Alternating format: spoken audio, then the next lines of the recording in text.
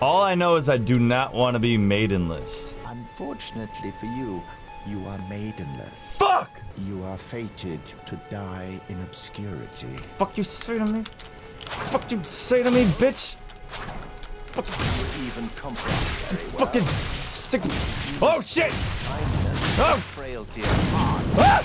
Ah! Ah!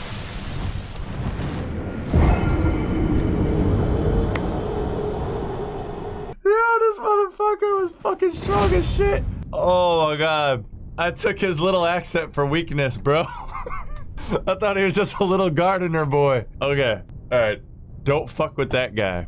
Noted. I'm sorry, what's he just called me maidenless and then said I was gonna die? I took it as like a fucking threat. And I kind of just snapped.